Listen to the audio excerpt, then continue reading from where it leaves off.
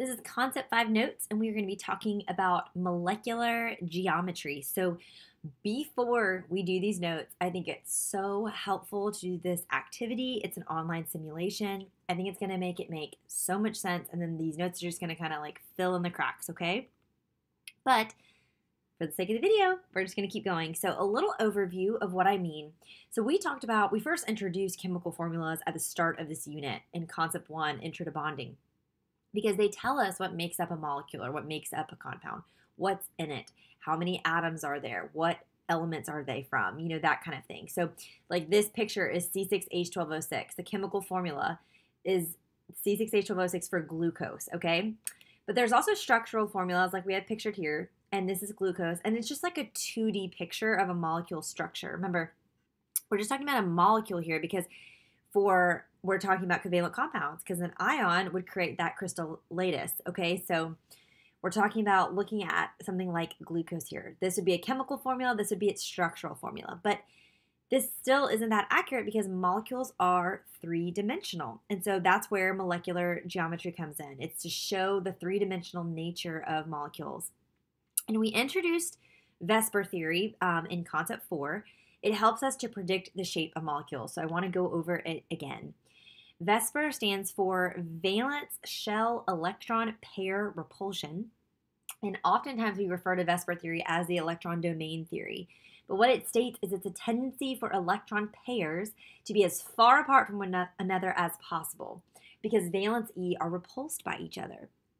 And the reason this is also known as the electron domain theory is because this is affected by electron domains. So, electron domains affect the overall shape of the atom because every electron domain wants to be as far from the others as possible. So, what is an electron domain? It's just the space that are, is occupied by electrons. And a couple things qualify as a domain. It could be a bonding pair, so electrons shared in a single bond. It could be a lone pair. It could be electrons not in a bond. It could also be multiple bonded pairs of electrons. So in what you see in a double or triple bond. So a double bond is just one electron domain, and a triple bond is one electron domain. Okay, so this is going to help us predict their shape. And again, double and triple and single, they're all treated the same as just one electron domain. So using this theory and the idea that these domains don't want to be near each other, we have these molecular shapes. And so we're going to go through some of these shapes that I want you to know. And I'm going to give you um, examples of them. And we want to be able to predict them. And I think the easiest way to keep up with them is to know how many electron domains they have or if they have specifically have any lone pairs, I think that really helps to determine the shape. So First is linear. So this orange is going to be a central atom and you can see two off of it. That's when you just have two electron domains off of that central atom. So examples of this, if you were to draw O2 or draw HCN, you would see this is a linear shape. They're as far away apart from each other as possible according to VSEPR. Trigonal planar, that's three electron domains. It's going to look like this. Examples are if you drew if you drew boron trifluoride, that's what this would look like. Tetrahedral is four electron domains. And so that would be CH4, which we've drawn several times, carbon tetrahydride. That would come off in this tetrahedral shape. And in person, we're going to look at models of this online. We're going to look at models in person, like three dimensional things, not just pictures. That's the easiest way to really see it. Next, we have five electron domains. If you see a pattern here, two, three, four, five, uh, is trigonal bipyramidal, is what we see here. That's like phosphorus um, pentachloride. And then octahedral is six electron domains, like sulfur hexafluoride. And some of you may be thinking, well, how could there ever be six off of it?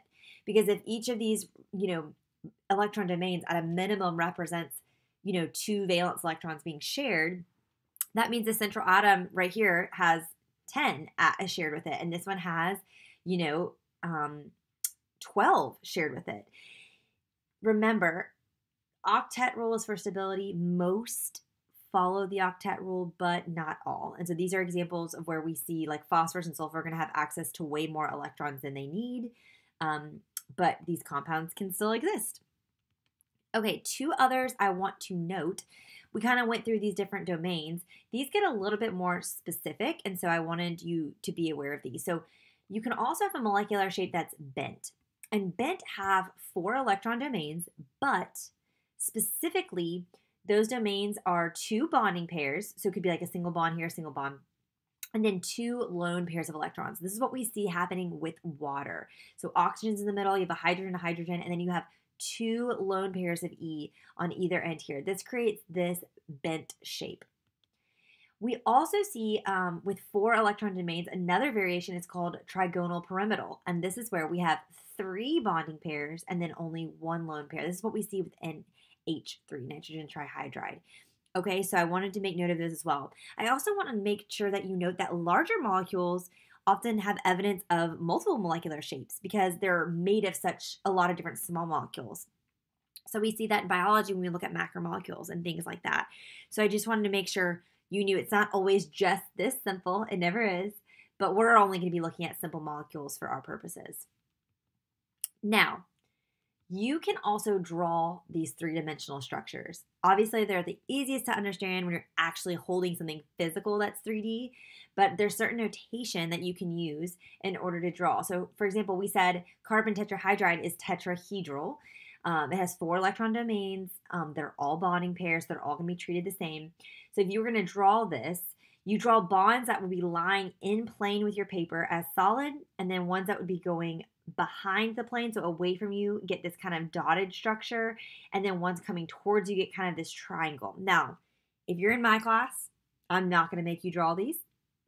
This is not something I care about you drawing, um, so don't worry. But I know other people listening who have different teachers may want them to know how to draw this. So that's why um, I included this in here. Also, I want to say, I, my students, we're not covering hybridization. Um, for VSEPR theory, it's really only looking at the shape of molecules, and hybridization is something that really takes in consideration their orbitals too, which is something we call, talked about in Unit 3 electrons when we talked about electron configurations and orbitals. But I'm not going to cover that either because I, again, just want you to focus on really knowing these shapes and understanding them and knowing them well. Okay, so we're going to do some practice problems right now that will help you kind of understand, you know, what this would look like on an assessment. So um, these are three molecular compounds. I want you to draw their Lewis structures. Then from there, list the number of electron domains and identify if any of those electron domains are specifically lone pairs. And then from there, predict what the shape's going to be linear, tetrahedral, bent, that kind of thing. Okay, so I'm going to skip over this so that we don't see all the answers. And then in class, I think this is going to really help you see why this matters. We're going to do a real world uh, molecular research activity. It'll be short, like it's not going to be this giant project, but I think it's going to really help you see how this applies to the real world. All right, that's concept five.